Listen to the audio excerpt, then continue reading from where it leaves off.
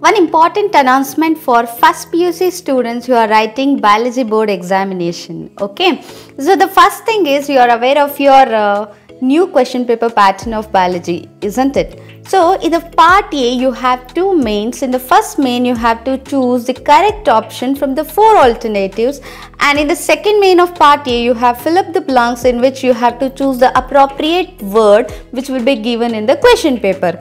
So for both the mains when you are answering in the examination you have to answer the questions in the first two pages of your answer booklet. So that is the first thing.